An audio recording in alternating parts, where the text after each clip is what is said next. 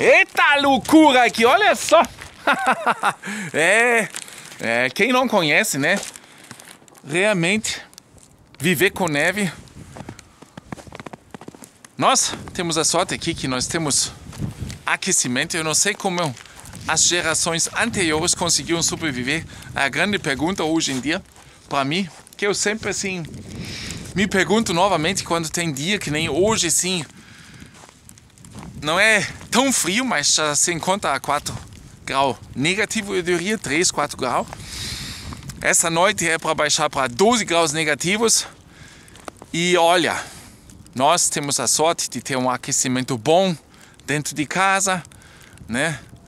A gente chega a andar dentro de casa só de camiseta e mas eu me pergunto muitas vezes como é que as gerações anteriores como é que eles conseguiam sobreviver, como eles sofreram né, com essas temperaturas, com essas de, pois é, de precisar se preparar para o inverno através de conservas, através de, de carne defumada, etc., né?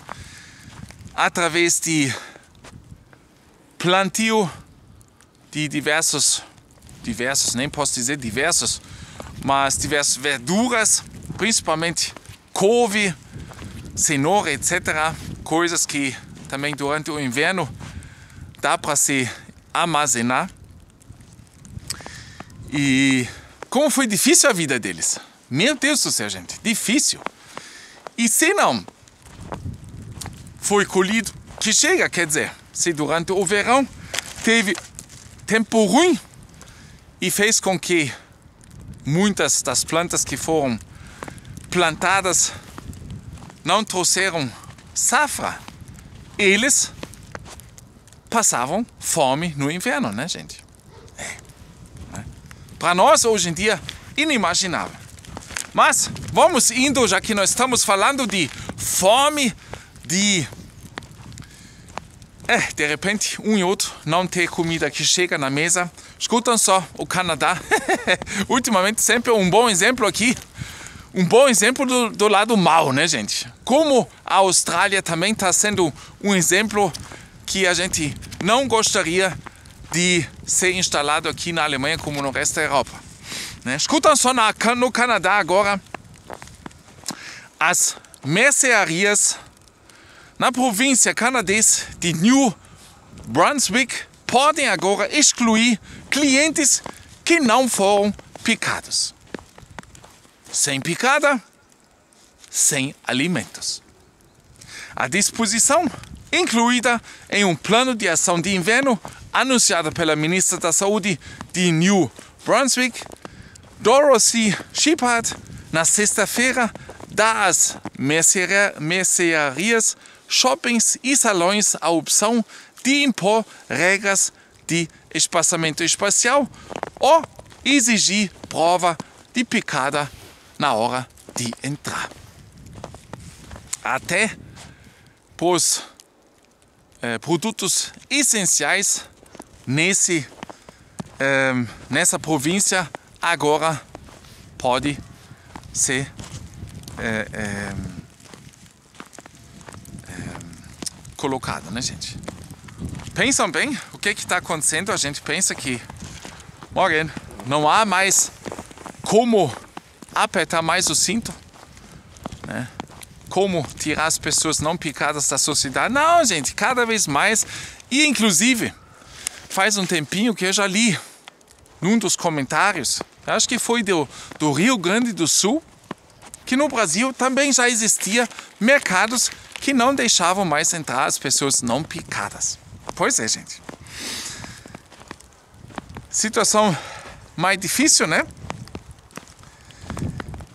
Um, com o inverno, o tempo fica mais frio, os dias ficam mais curtos, as pessoas passam mais tempo dentro de casa e há um risco maior de propagação. É, essas são as desculpas que eles sempre põem para nós Alô, servus. Que ele sempre põe para nós, né? Há sempre desculpas né? para colocar novas medidas. É importante que tenhamos um plano que garanta que nosso sistema de saúde não seja sobrecarregado, mas que também aborde a saúde mental, física e financeira de New Brunswickers. É. Eles ainda querem observar que que a, a, o sistema de saúde não seja sobrecarregado, né? Que, servus, que os pessoal, o pessoal, os moradores tenham uma saúde mental, física e financeira. É, gente, eu digo uma coisa para vocês: se amanhã as pessoas não podem mais fazer compras no mercado, eles falam assim de saúde mental, saúde física. O que, que acontece com essas pessoas?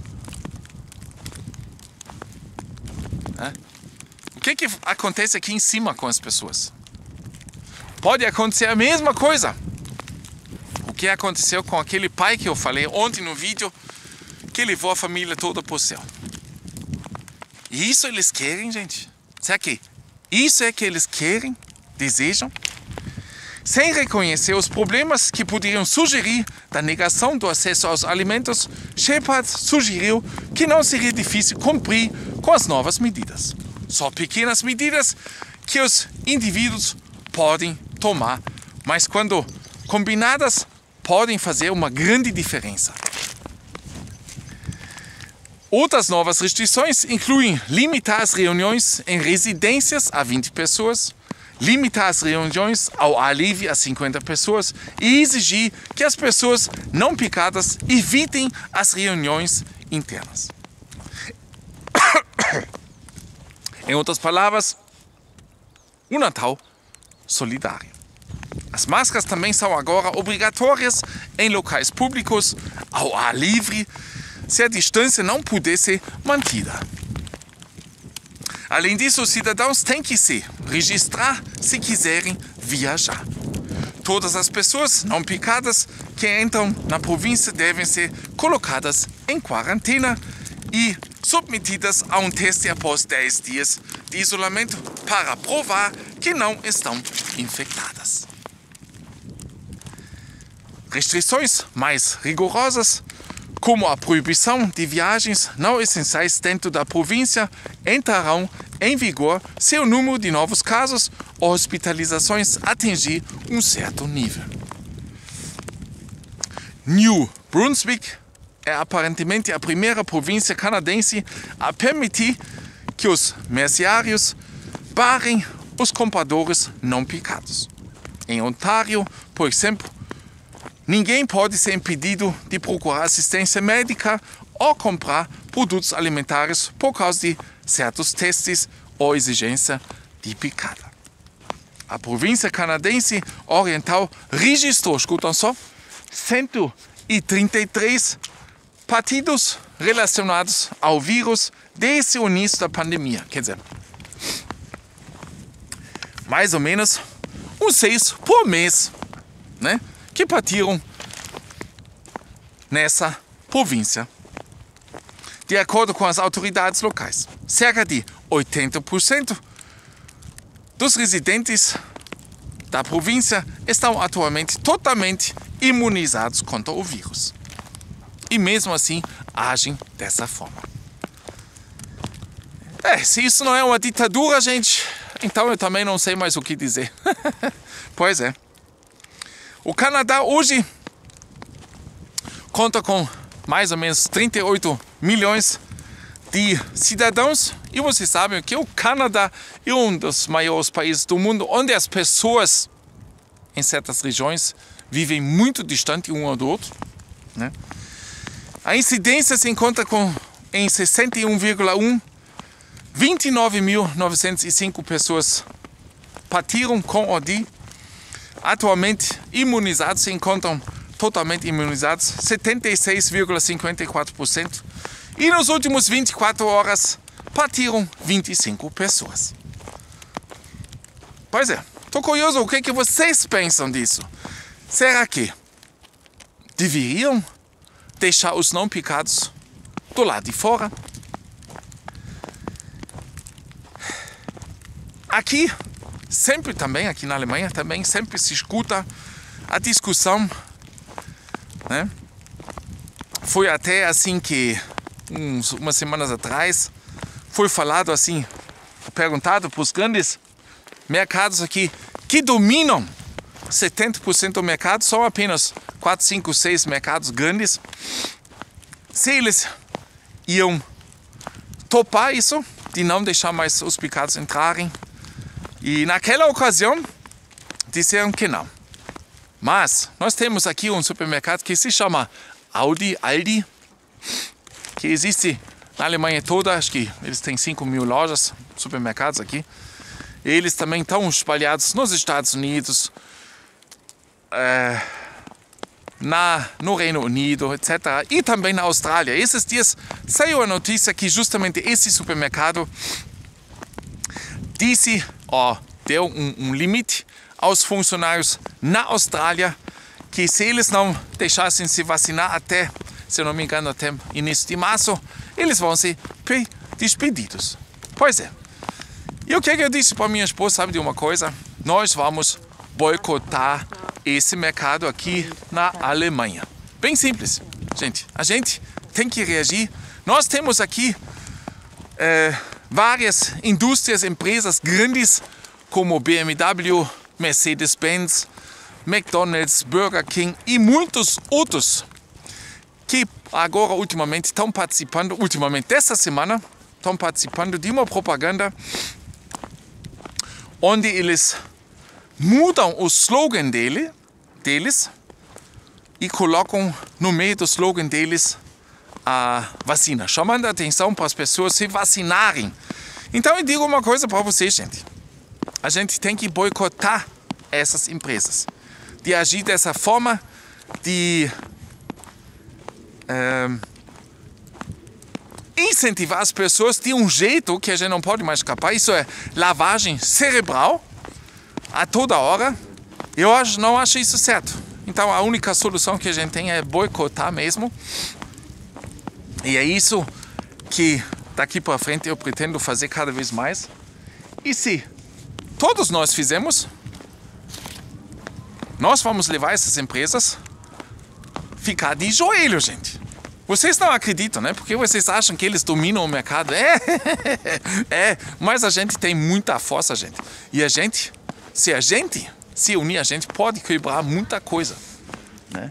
E a gente pode fazer com que até grandes empresas, né? eles se encaixam de novo. Né? E tem mais respeito pelos outros. Né? Só que a gente não acredita nisso, mas é, gente, é, nós temos uma certa potência. Nós somos milhões e milhões. E vocês sabem tá, que essas grandes empresas contam com lucro pequeno porque eles querem só dominar os mercados. Então, lucro pequeno é bom. Eles investem, que nem o McDonald's, por exemplo, ele faz do, do da rentabilidade dele, eles colocam mais ou menos 60% do valor em propaganda, gente. É, em propaganda. Por isso eles crescem tanto, porque em toda é, toda a estação, toda a imprensa, eles estão fazendo propaganda tão presente. É uma lavagem cerebral, gente. É. Mas nós temos a chance, as condições talvez também, de dizer não. Chega, conosco não. Mas isso cada um por si tem que decidir. Mas acho que é a única solução da gente sair desse momento difícil. Pessoal, um grande abraço e pensam bem, se de repente você não pode mais fazer compras no mercado, onde é que estão as pessoas? Por que, que as pessoas não vão para a rua? Por que, que eles não reagem? Talvez porque eles se dizem, olha, eu tenho, tenho um estoque em casa, que nem o Caio também, dá para três, quatro meses. Sabe de uma coisa? Eu não preciso de vocês. Chega, para mim chega. Né? Talvez é isso. Né? Ou talvez eles dizem, ah, sabe de uma coisa? Desses supermercados eu não preciso. Eu faço uma encomenda grande através da internet. Ponto. Também pode ser uma solução. Né? E assim vai indo, né, gente? Mas nós queremos manter vocês informados, insistindo em trazer mais informações para vocês, sabendo que muitos de vocês, muitos mesmo, dão muito valor a isso. Muito obrigado por todo esse apoio e, gente, até no próximo vídeo. Aqui ainda me despedindo. Fizeram uma pequena cerca de servos de neve aqui. Muito legal, né? Grande abraço, até mais.